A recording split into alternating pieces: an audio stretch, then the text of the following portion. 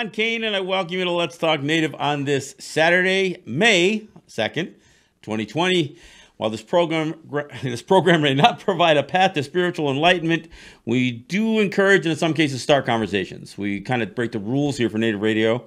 We don't do prayers or buffalo speeches or get all mystic.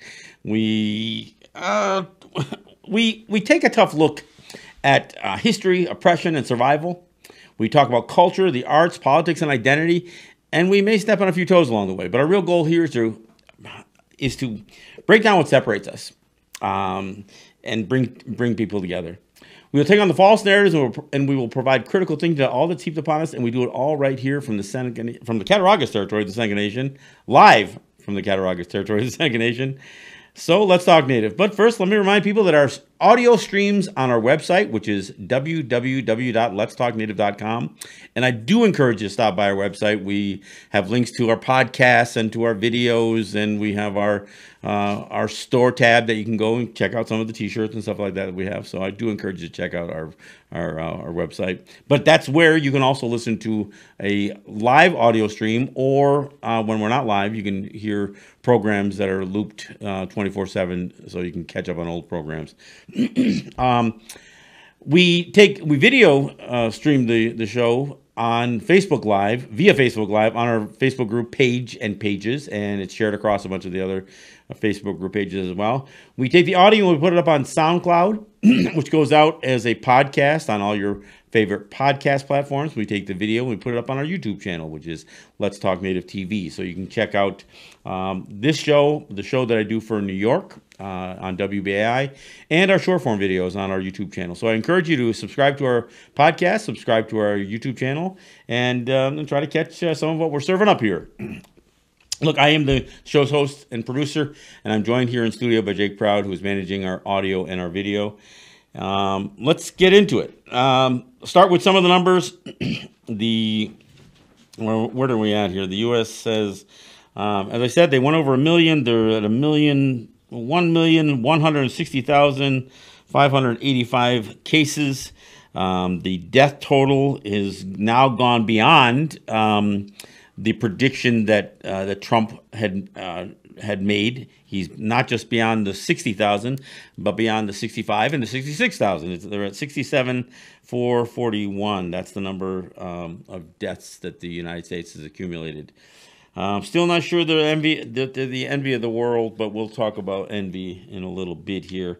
Um, Navajo Nation continues to really rack up the number of cases, and and although um, their death totals are heartbreaking. They are, they are not that high yet, um, but uh, they're adding.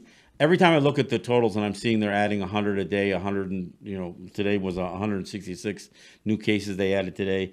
They're at 2307.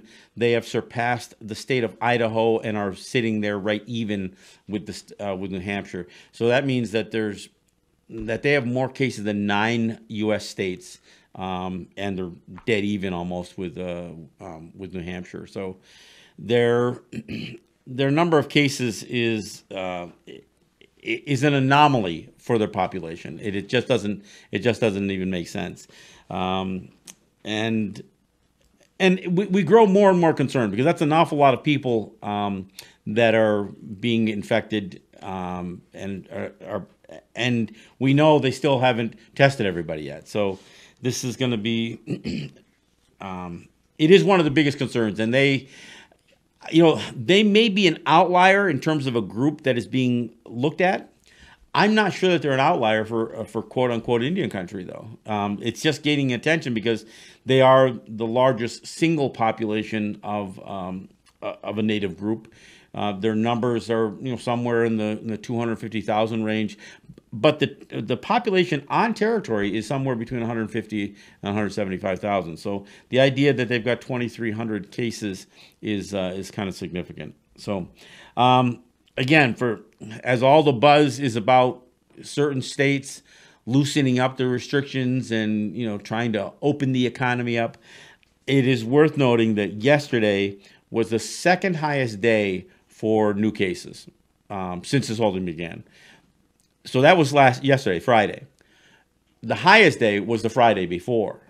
So it seems like for whatever reason, these things are spiking as the week goes on and then drops off on Saturday and Sunday.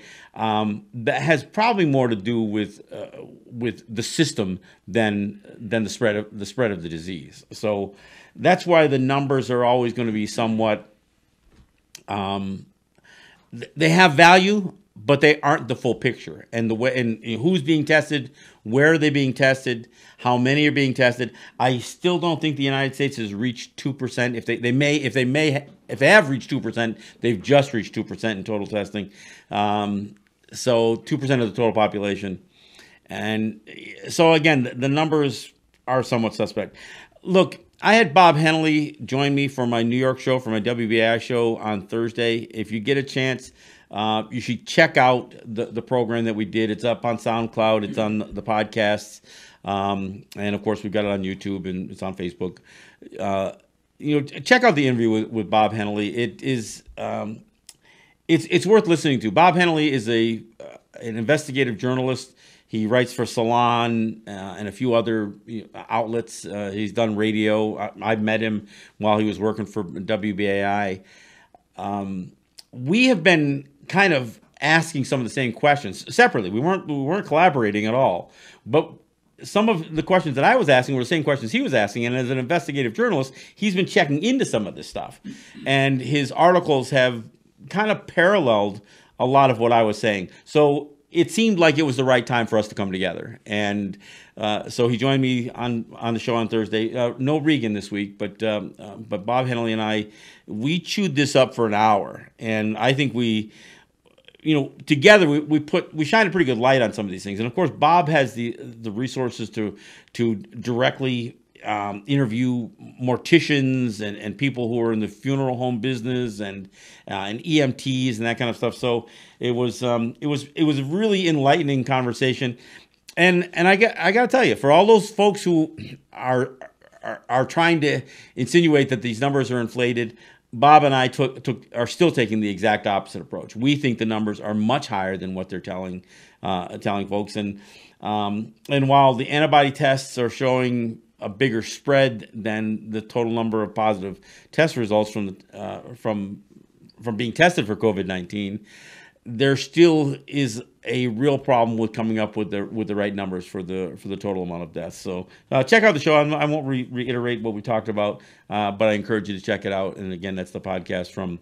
Uh, from my Thursday WBAI show, Let's Talk with John Kane. So uh, check it out. All right. Um, look, I, I do one of the things I, I've talked about before on the show, and, and and this whole theme came from Ed Schindler, my buddy who sits in you know through their different parts of the year. He mentioned the seven deadly sins. Now, as I mentioned them, I'm, this isn't going to be a religious show. I'm not talking about you know you know the pious and the sinful. I'm, I'm not getting into that, but what is listed as the seven deadly sins, and, and it's kind of interesting because I don't even subscribe to these um, to to what this is supposed to represent because a lot of what the seven deadly sins was about was about controlling the underclass. It was about saying, "Oh, you know, pride is a terrible thing to have. Don't you be proud?" You know, because that was that was the the exclusive purview for the uh, aristocracy. Um, they didn't want the poor to be envious. They didn't want them to be gluttons. They wanted them to be very frugal and, and make sure that they didn't overconsume because they, they wanted them to produce, not to consume. It's not it's not the capitalism that we know now where you got to have people both be the consumers and the producers at the same time. Um, they didn't want the, the poor to be greedy. They didn't want them to be, you know, they wanted them to be orderly. So I'll get into what the seven deadly sins are.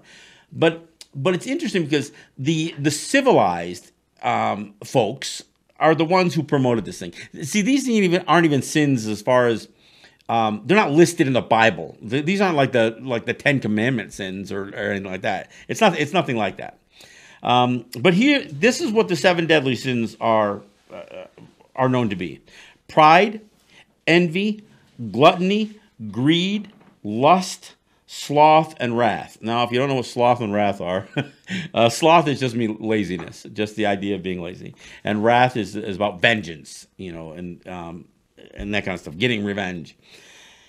Now, the, you know, when, when Ed and I talked about this on the show, we, we talked about how these, look, these things here, all seven of these character flaws or characteristics have become a part of the American culture. The, these aren't considered sins, you know, for most, Yeah, you know, not really. Uh, pride, envy.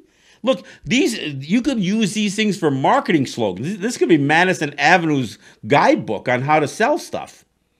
Pride, envy, gluttony. Yeah, they want you to eat more. They want you to, um, you know, to, to be envious of, of your neighbor. I mean, look, they got perfume called envy. I mean, this is uh, uh, pride. I mean, you American pride. That's a, you, you see that those two words together constantly. It's it's it's built into the system. Uh, lust. I there's probably there's, there's probably a perfume called that too.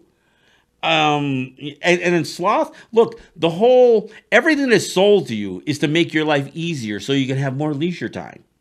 It never does that, but you know but but the idea of of lounging and and uh, and, and being lazy that's I mean look that's what people are envious to to, to do uh, ironically. And then wrath and the idea of vengeance.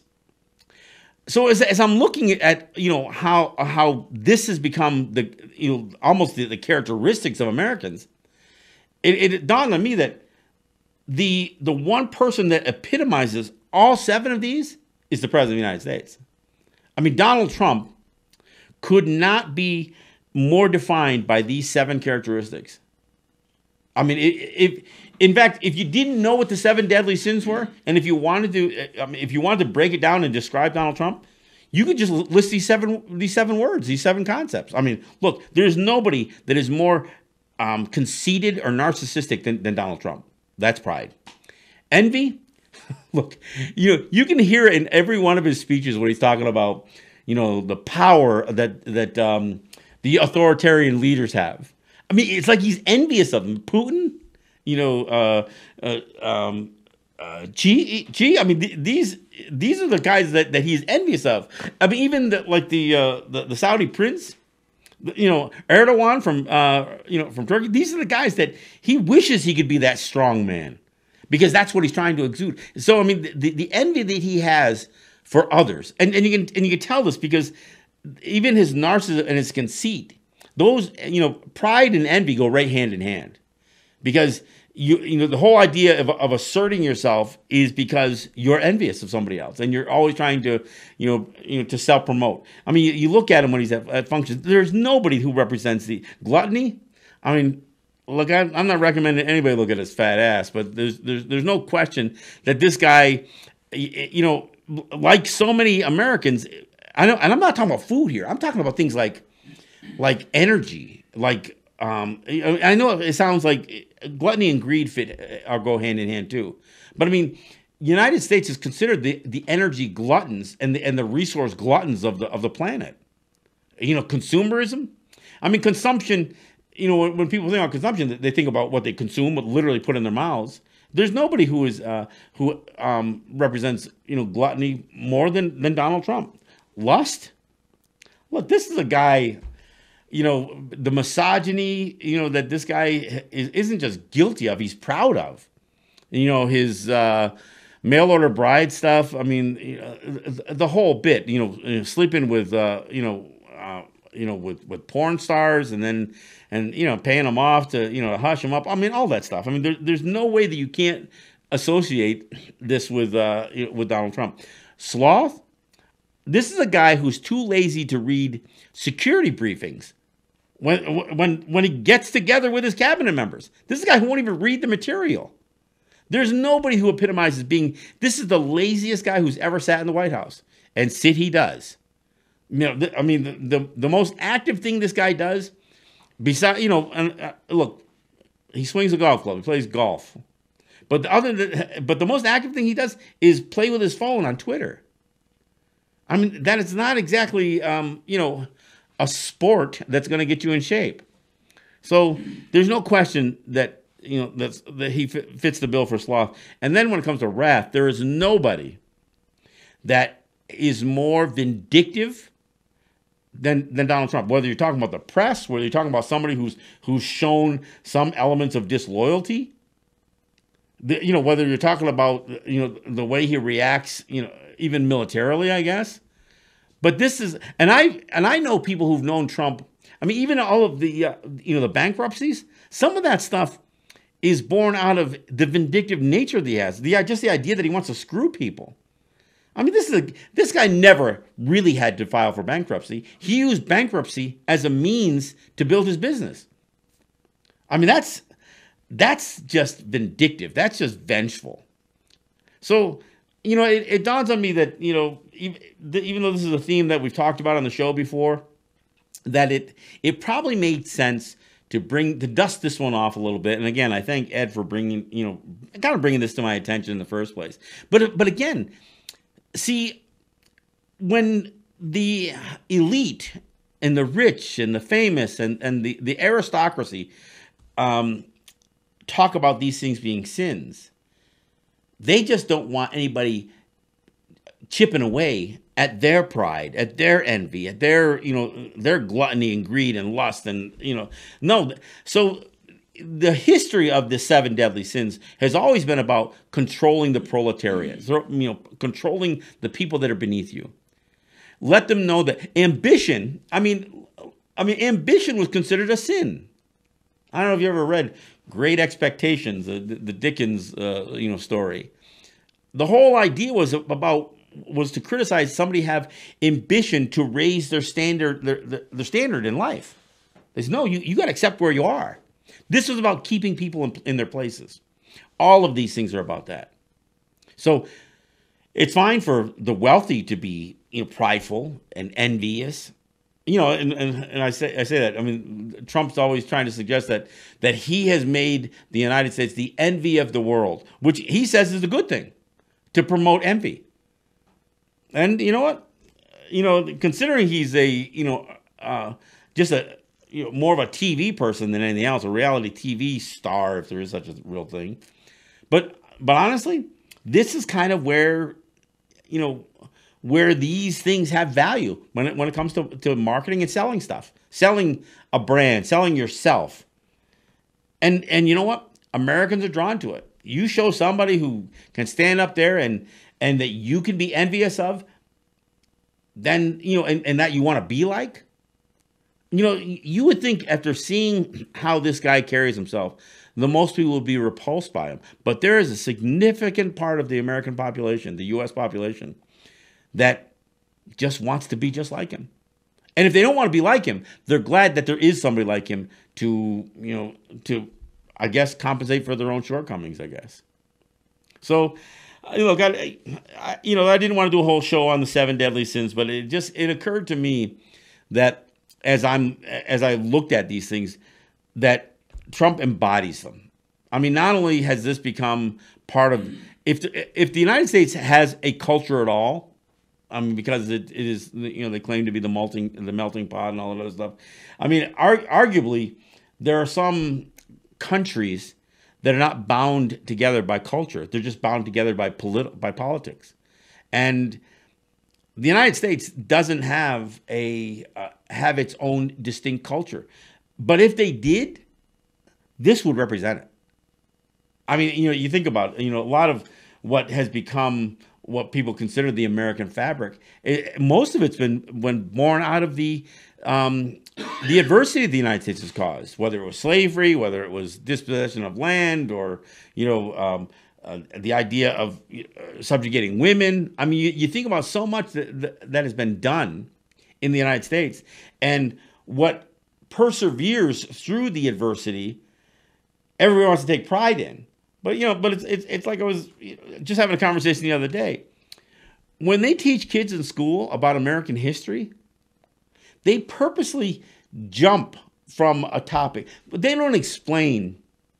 When they talk about the Constitution and they're talking about the apportionment of uh, of representation, you know that, that whole three fifths compromise that you know the, the, the idea that that you could count black people as less than a human being, but the fact that they were counted at all was not so they would be represented. It's so their bodies could give their slave masters, their plantation owners, more representation in the U.S. Congress. I mean, think about that. This was so a person who owned slaves could have more political power. The fact that they were already asserting this, this, you know, this inhumane power over other human beings wasn't enough. They needed to have political power within the uh, within the federal government as well because those slaves weren't being represented in this in this apportionment clause. Their bodies were being counted for their masters uh, to have more power. But they never teach that. You know, and, and look, if you taught if you were if you were really proud of the fact there's pride again right if you were proud of the fact that yes there were mistakes made and that you you um, that you made the correction so you amended the constitution you know several times along the way to, to to make up for the you know, for the racism and for the, the crimes against humanity that your country was around. But they never addressed it in the first place. So you don't even encourage the idea that yes, you have to acknowledge that mistakes were made and then and then work to correct them. That's that's part that's part of the problem. I mean, that's that's just the way the United States promotes itself as you know infallible. I mean, you ignore, you know, you, you don't tell the truth about what the Civil War was fought over. You know, you you make it sound like it was just a struggle between states' rights and and and centralized government. Really? That's that's that's the, way you're going to sell that thing. You don't tell the truth about World War, you know, one or World War two for that matter. You don't tell the truth about how the United States ignored the atrocities that Hitler was committing against uh, against the Jews. You don't talk about how Henry Ford was was actually a, you know a, a sympathizer to to Hitler's regime. He was a Nazi sympathizer, completely anti-Semitic. I mean, you don't talk about any of that stuff. You don't talk about the fact that the United States dropped it was the only country in the history of the world to drop two nuclear weapons on a small island country that was already on its knees um, in a in a completely asymmetrical, you know, battle uh, um, war. I mean, it's the United States dropped two atomic bombs on the uh, on Japan. Six months after the largest aerial assault that ever that the, the world has ever seen on on cities like Tokyo. See, nobody ever says to nobody says, "Well, yes, the United States dropped uh, you know atomic bombs on you know, Hiroshima and Nagasaki." Well, why didn't they drop one on Tokyo? I mean, I mean, kids don't even know to ask that question. And you know what the answer is? the answer is because they bombed the crap out of Tokyo six months before. They already leveled Tokyo. They just didn't use nuclear weapons. They used uh, they used conventional um, and mock a lot of them. They used conventional um, incendiary uh, devices. So, and, and they it wasn't just Tokyo that they bombed. So they did that in in March, and then in August they they turned around. They dropped two atomic bombs. Just why? Because they could and you know what? You come out of that, and as you, you know, and again, no, nobody's going to teach this to kids. They're not going to teach, uh, you know, how many civilians that these were civilian targets, both what took place in March when they bombed Tokyo and with with Hiroshima and Nagasaki. Keep in mind, for those of you saying, yeah, but they bombed Pearl Harbor, they bombed a military base, they bombed a naval base. They didn't bomb Honolulu. They bombed a naval base. But when when the United States bombed, uh, you know, bombed Japan, they they didn't distinguish at all between the civilian population. They said, well, we, we you know, they had um, they were making bombs right in the cities where you know civilians were involved in all that stuff. Well, you know what? Civilians were involved in that in the United States too. So I don't know. I, I just think we don't teach this stuff in, in, a, in a way that makes. Um, I mean, I, I think the United States in particular is so worried about tarnishing their um, their image. Why? Because of pride and envy and greed and lust, all of that stuff. I mean, it, it is what has become that American fabric. Uh, most of American history is built either on lies or omissions. Sorry, I'm, I'm not saying there is no truth, but I'm saying you you omit enough truth to where the truth becomes disingenuous, or you you simply don't you, you simply lie and and that's what that's what most of most history that's taught to kids i mean they, they don't teach about you know the, the crimes that these presidents committed against native people or the atrocity that slavery really was. They teach slavery as if it was just this little period of time. And you know, and that's that's a crime. That's criminal. And to misrepresent what those atrocities were is really just a terrible thing to have done. And you know, that's why you know that's why I do a show like this so we can talk about some of this stuff. All right, hey, we're at the bottom of the hour. When we come back, I, am gonna I want to re- revisit take a, take a look back at 1990 and even a little bit of the, the decade of the 90s. But um, and and there's a reason I want to do it. Uh, you know, Jake and I are going to work uh, be working on some things, but I'll talk about it a little talk about it a little bit more when we come back. This is John Kane, and this is Let's Talk Native. We'll be right back.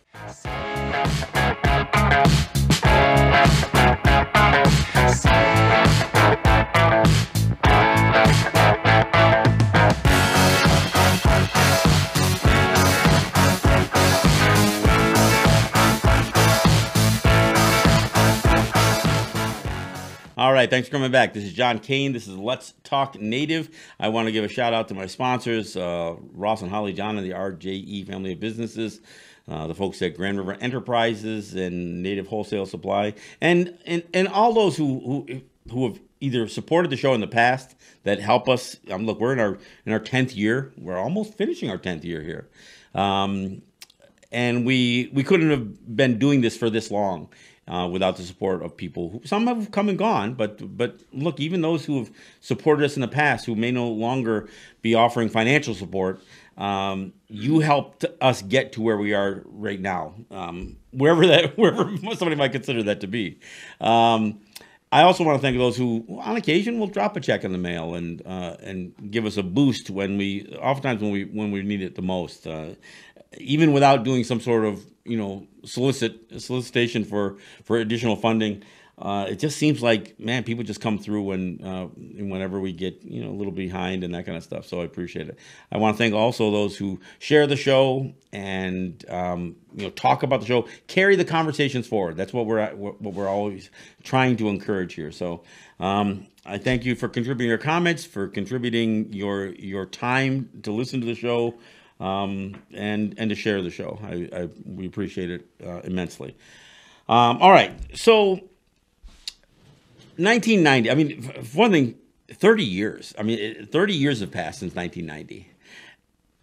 You know, I was just thinking the other day when I say something that happened 30 years ago, I find it a little bit almost disturbing when I think 30 years ago, I was already 30 years old. I wasn't even, I mean, now it seems like 30 was young, but man, when I was 30, I felt like I was, you know, man, I was, I was, I was older. I was, I had reached it, right? But, you know, I look back now and, and man, I, 30 years ago, I was already 30, I'm 60, so obviously the math makes sense. But 30 years ago, 1990, well, I'll tell you, 1990 was, um, was not only um, one hell of a year, and, and we'll get into some of the you know what made 1990 what it was but even the run up to 1990 and then the, the entire decade of the 90s the, you know our tax battles with the you know with with a couple of governors. Leading up to 1990 i went through you know all the stuff that was happening in oneida and you know and, and so i would begin the decade spending some time in, in a federal prison. So i mean this is you know this is what 1990 was um, was about. I mean the biggest thing that people know 1994 is uh, is the Oka crisis, Kanesatake, and the whole battle between Mohawks, the Kanien'kehá:ka, and the uh, and, and the Canadian government. At all, because there were other, you know, the were U.S. was in, you know, kind of discreetly or covertly involved with some of what the United, uh, what Canada was doing uh, with, with Mohawks as well. Um, but 1990 is when the Oka crisis became uh, well, when it started, and then would ultimately become this uh, um, this milestone and almost a turning point on how Native people viewed their sovereignty and what they were willing to fight for. So what happens is, um, you know, look, we, have been battling um, at, at, a bunch of different levels, things like est- establishing businesses. You know, we were gaining a foothold and, selling tobacco on our territories and creating an, econ- economy.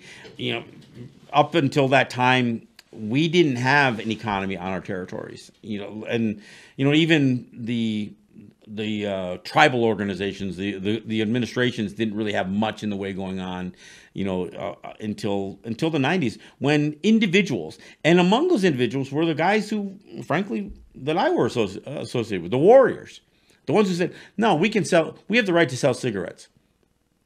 We have the right to sell fuel."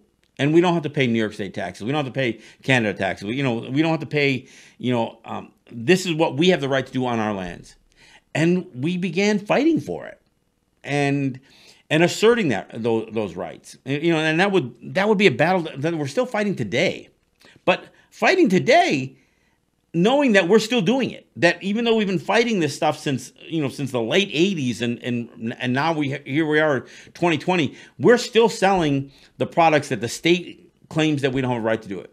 And and Canada's never really fully conceded. I mean, we're we're we're we're battling these huge powerhouses, but where the line really got drawn in the sand was in Kanesatake, and in Kanesatake, in a small area that um, that the folks called the Pines.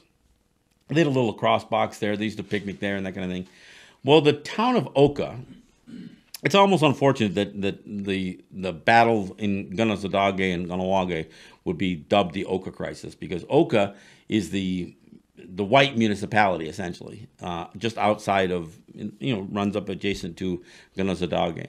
And the mayor of Oka decided they wanted to expand what was a nine-hole golf course to 18, and they were going to expand it by claiming Mohawk land. And so through spring, the spring of 1990, I mean, this time of year, our people are already saying no, you're not going to expand the golf course here. So the conflict, you know, begins before the summer sets in. And, you know, we've got people that are that are you know making a they made a barricade. They said, no, you're not coming past this point.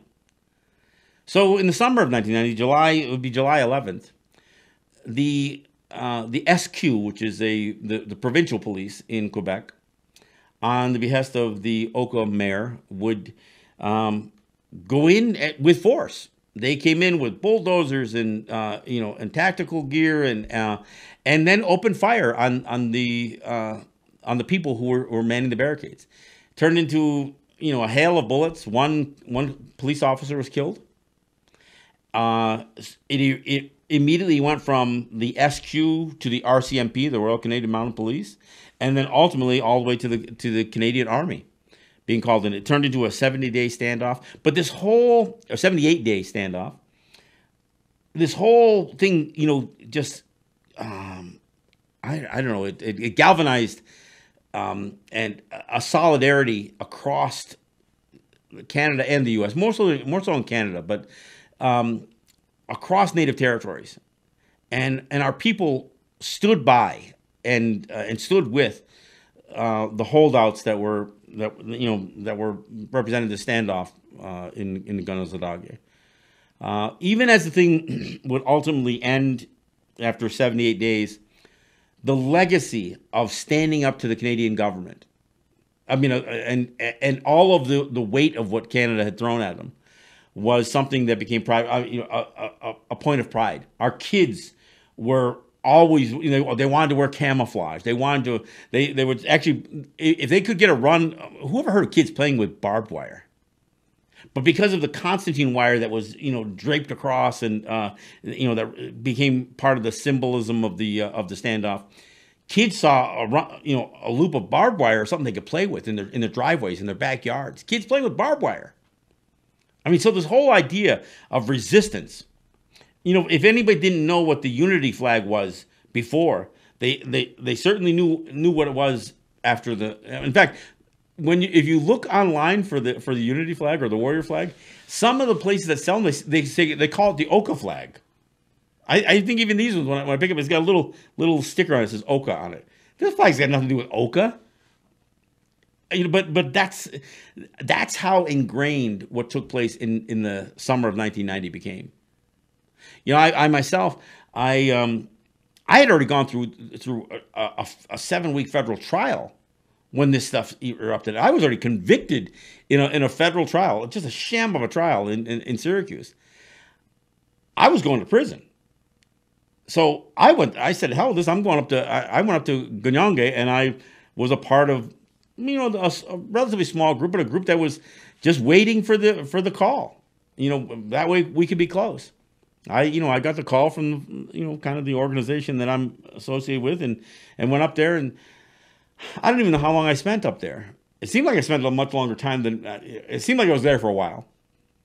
And every day, all we, we couldn't find anything on American news. It was all, you know, it, it was all covered up. It was all, you know, blacked out. It was a media blackout on the U.S. side. But we saw racism in ways that that people had never seen. In fact, Jake and I got a video coming out real soon here that's going to highlight a little bit of that Canadian racism. But we saw racism in ways that most people um, you know, most I don't even think Canadians realized how much the you know, racism was was within them. You know, the idea of burning effigies of, na- of Native people and stoning cars. I mean, even old people in a, in a car, smashing out windows. I mean, this is what we, we experienced through, through all of this stuff. But this was 1990, 30 years ago. And, and we're going to do, you know, Jake and I, are, uh, we're going to look at, do a couple of retrospectives not just on Oka, not just on Kanesatake, not just on the, the battle, but where does it leave us now? You know, when we've gone through so many of these things, and not just, you know, fighting for land rights, which which is what that is. And by the way, the golf course never got built. So if you're wondering who wins the battle, well, we won it. We never, the golf course never got built. That land is still Kanesatake. It is not Oka. So and then as we get into the into the 1990s and, and we, we battle Mario Cuomo over taxes, you know, the, the Attea case in 1994 happens, and, you know, uh, Cuomo, um, you know, ends up getting replaced by, uh, you know, by George Pataki. So we have a whole nother governor with a whole different, you know, uh, philosophy going from a Democrat governor to a Republican governor, but the same battle. So we went through two, two governors, two you know, two different parties. Of course, you know, you also have you know Brian Mulroney, who is the uh, the, the, prime minister of Canada, and, and you know, and you go through the the '90s with you know the, with the federal government here. I mean, you go through all of this stuff, right? And we persevere. I'm not saying we didn't take our lumps. Like I said, I, I began the '90s. I I began the most of that decade. Uh, you know, two years of it in, in a federal pen so we took our lumps, but we came back stronger than ever. But I don't know that we do a proper uh, retrospective. I mean, I, like I said, um, Tim Johnson, a friend of mine, he used to run the, uh, he, you know, he he was part of the the Native American program at uh, um, at Cornell, and he was, you know, ran the the museum um, in um, in Washington D.C. You know, I met with Tim one time, and he said, "Why? Do, how can we never look back and say how did we how did we win or how did we survive? Can we, we never go back and say this is how we accomplished what we accomplished in the tax battle. This is how we accomplished what we accomplished in in uh, in Kanesatake. We don't do it. We don't do a retro, so we don't teach it going forward. You know, one of the things that when when the Senecas became essentially the, the front line on the battle with um, uh, with New York State over taxation, we, you know, they invited, you know, some of us to, to come in from from Mohawk territories, and and we talked with, with folks, and we, and we, and look, we couldn't believe, you know, the the how willing the Senecas were to fight the state, uh, and and we almost had to like try to temper some of the enthusiasm. You know, we we didn't we had to remind people that, you know, killing a cop was never going to be a good thing, even though we might be justified in doing it what they would do in retaliation would never, you know, so even if you could get away with it, they would take it out on somebody. So it might be your cousin that pays the price. Either, either they're going to kill, they're going to, they're going to get their pound of flesh. So we, we talked about how to, you know, different strategies, and of course the Senecas had much, many of their own strategies as well. We, you know, I'm not suggesting that that the, the Mohawks led the thing or anything, but we, we we came and we supported, and that's how you know that's how I you know became a part of this community. But when I look back at the 90s, there there are lessons that should be drawn from that. So one of the things that, that Jake and I want to do, we, we want to look at Kanesatake. We want to look at that that resistance and what can we take from it? Where, you know, where are we now um, as a benefit from what took place in 1990? And and have we squandered it? Have we squandered whatever um, whatever we accomplished there? I mean, and we may have. I mean, I, I think this is kind of the, the the so-called retrospective that we want to do. Can and if we have squandered it, can we dust it off? I mean, look, there were a number of years that in Canada they had the Mohawk Warrior Society listed as their number one threat to national security. They did, you know, these Macdonald Laurier reports to determine what was the um, uh, the likelihood of, uh, of, of an insurgency led by indigenous people, and and of course, on their mind, on the forefront of their mind, was the resistance that came from uh, from Mohawk territory. They they always got really really wary when they knew that we were traveling, you know, a, a bunch, and that we were spending time t- uh, speaking to people in other communities. You know, were we inciting people? No. We look. Anytime that we got called to, to come meet with people, it was because they were already incited, and they wanted to. You know, they wanted to know what lessons were learned. But we never documented much. And look, Jake and I are going to we're going to do a couple of short videos on the whole thing, and it's not going to be a comprehensive view. But the whole point of even even bringing it up today, and and the videos that we will do in the run up to the 30th anniversary of the uh, of the Kanesatake crisis. We want to invite the conversation. It, look, 30 years ago is a long time. Most of the people who would have to stand on the front line of any kind of battle today either weren't alive or were just little little kids then. Because look, you don't want us 50 and 60 year olds on the front line anymore. You know, so so for those of you who have none of the experience coming out of the 90s, you have no textbook to read. You there's look, there's a couple of documentaries, but none of them do a look back. Most of them are documentaries about what happened, you know, just and there's some good ones. I mean, the, what's the one called Kanesatake 270 years? 200 yeah, yeah, years of resistance or whatever. That's it's a, it's a great film, and I, I showed it a few times in um, in uh, New York City and uh, you know, done, done some screenings of it.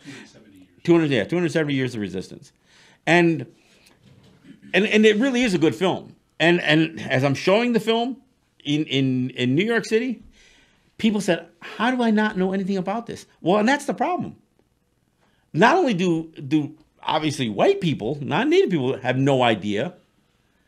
I mean, and and I'm not just white people. Look, for all the resistance that the, the Black Panthers and the civil rights movement movement came, I was surprised how many how many black people had no idea that Mohawks had stood up.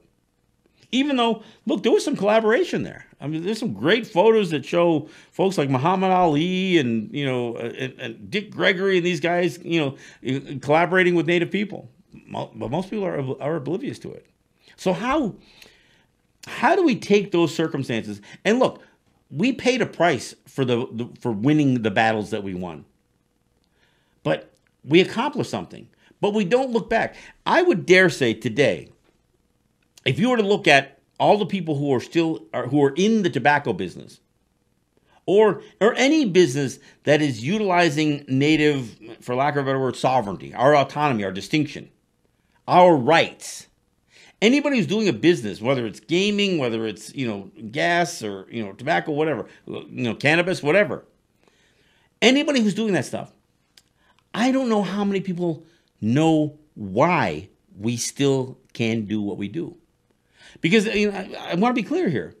As far as New York State is concerned, every carton of cigarettes on Seneca territory, in Mohawk territory, Oneida territory, well, you know, wherever, every carton of cigarettes, if it doesn't have a New York State stamp on it, New York State considers that to be contraband. And you know who else does? The federal government. Why? Because the federal government, they passed a law called the, the Cigarette Contraband uh, or Contraband Cigarette Trafficking Act, CCTA, where the the law is so obscure and it doesn't take into account anything you know any it doesn't it doesn't take us into account. So what the ccta basically says is that any tobacco in a state that requires a stamp that doesn't have a stamp is considered contraband. Unless it's you know still hasn't been been sold if it's still you know um, in the wholesale market so to speak. Hasn't been stamped yet. But if it's on a shelf if it's if if it's either if it's um, for sale retail or in a consumer's hand and doesn't have a, a stamp on it, as far as the federal government is concerned and, and New York State is concerned, it's contraband. The federal government never takes into consideration, well, New York State doesn't have any authority on what we do on our territory. They'll even somewhat back that idea.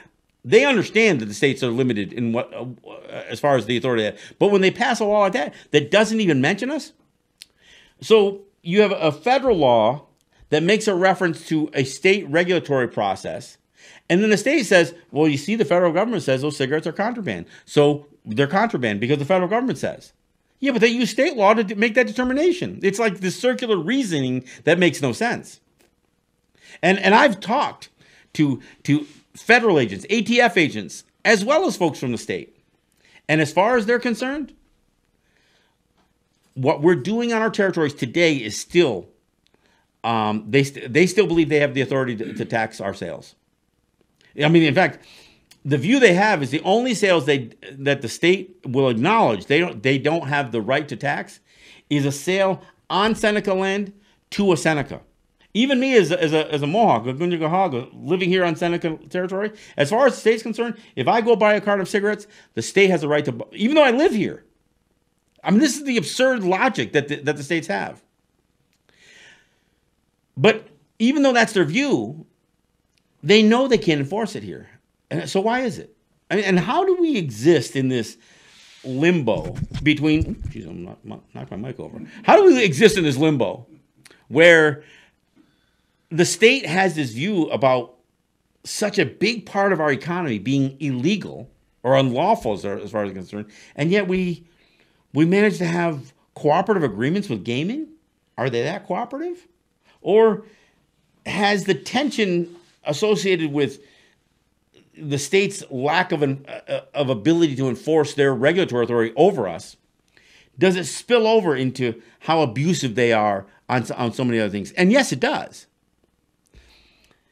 we don't win in court i mean look i one of the i, I got a chance to testify as an expert witness on um, on a cigarette case where a seneca wholesaler was transporting cigarettes to a native territory. Uh, and so this is a, a Seneca licensed wholesaler located here on Seneca territory, taking a native brand of tobacco to another native territory, and the tobacco gets seized. Not only does the tobacco get seized, but the driver and the company get assessed millions of dollars worth of worth of fines. Now, I, I testified in the driver's um, hearing, and and I'm not saying it was just my testimony alone, but but ultimately um, it got thrown out. But the owner of the company is still battling the state. The state is still asserting that we don't have the right to take a native product from one from a native territory to another native territory. This is and so when we do it, we're doing it always at risk. I mean, from 1990 till now. 30 years. We've been fighting this same battle for 30 freaking years. Now, I don't know if people realize what are the risks. I mean, a lot of times, you know, I think people got involved in, in tobacco saying, well, I see somebody else made a bunch of money selling cigarettes. Well, I can make, I can sell cigarettes. They don't realize that some of the people who pushed this in the, in the beginning, and some of those people were, were the warrior, warriors, essentially. In, in Kahnawake, for instance, on the Canadian side. It was one of the first places that, that tobacco began to be sold and and again, part of the reason that it was, uh, you know, that it was, uh, it was it was so profitable was because Canada, like New York State, has a huge amount of t- tax on tobacco. So we did it, and although there were always these threats of people coming in, they rarely came into our territories. You know, we we had standoffs with again two governors through the '90s, both uh, Mario Cuomo and um, and George Pataki.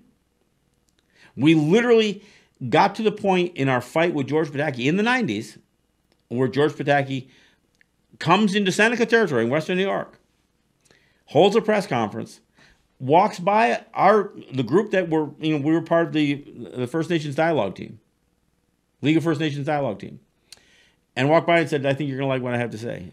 We weren't convinced we were gonna like anything this guy had to say, but when he came in and he said, I'm making an executive decision to recognize the sovereign right of Native people to conduct these businesses. Basically, Pataki threw the towel in. He did he did a complete 180 on this whole idea of, of, of the state coming after us. Now, I don't. I, think there was still a, lot of unanswered questions even when he did that at the time, but we essentially stopped stopped you know stopped fighting with with the state after that, and and had a you know a relatively peaceful few years until you know Spitzer becomes the, the governor in the in the 80s although that only lasted for not very long because of his um, his prostitution problems but then we end up battling you know David Paterson and um, and Mike Bloomberg suggesting that David Paterson need to cowboy up against the Indians. Literally he said that too.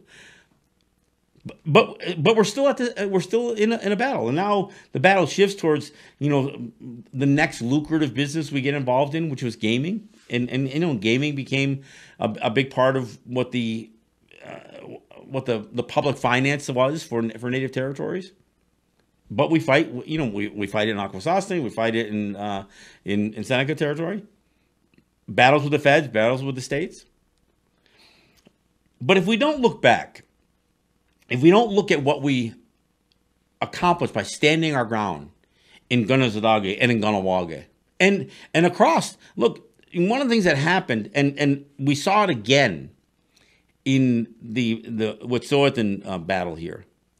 What was learned out of the 1990s, what was learned out of Kanesatake in particular, was although I was in the camp that wanted everybody to go there. What was learned is that everybody didn't have to go there. That you could block railways, you could topple power lines, you could do things all across.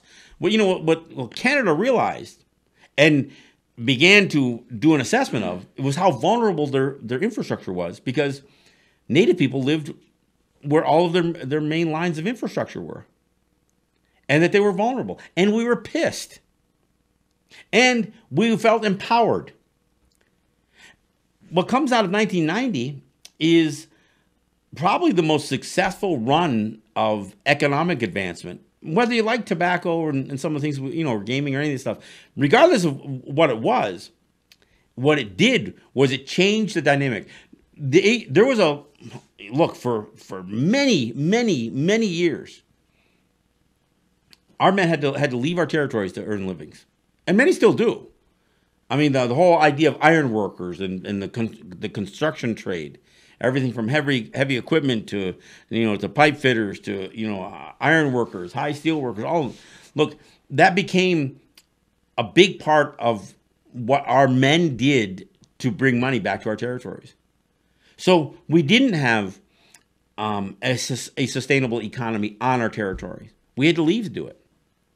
What came out of after 1990 and and actually was already building when 1990 had. You know, one of the things that that people questioned was were the advancement we were advancements we were making through the late 80s up until 1990 was it worth risking all that stuff by standing our ground? And the decision was standing our ground is too important. You know, and and that's always the the, the you know the big challenge. The big challenge is can you are you prepared to suffer the consequences of standing your ground? for a longer term goal. So that's what we want to revisit. So for now, what I guess what I would suggest is brush up a little bit, brush up a little bit on 1990. We're gonna do, you know, we're gonna do a retrospective on not only um, the battle in what is known as the Oka Crisis, the, the battles uh, of resistance from Kanesatake and Kahnawake, but we're gonna we're gonna start to look at what we accomplished coming out of the 90s, standing up, fighting for our right to do commerce on our territories. We're gonna do that. So, uh, brush, brush up on your own little history, and uh, and we'll compare notes as we do it. So, um, that's a show for today. So I want to thank you guys for, for listening. We'll be back here on Tuesday. We'll see what we got coming up by then. Um, in the meantime, it's May, and we're still in the middle of the COVID pan, uh, pandemic. Uh, so we'll see what the next few days uh, hand us before we get to Tuesday. This is John Kane. This is Let's Talk Native. Yahweh.